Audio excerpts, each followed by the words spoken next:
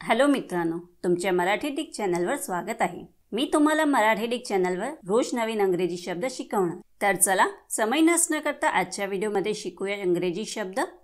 स्लँडर स्लँडरचा मराठी अर्थ निंदा खोटा आरोप कंडी कुटाळखी निंदा लस्ती चिखलफेक उठविलेली आवई आवई उठविणे निंदा लस्ती करणे किंवा निंदा करणे होत आहे.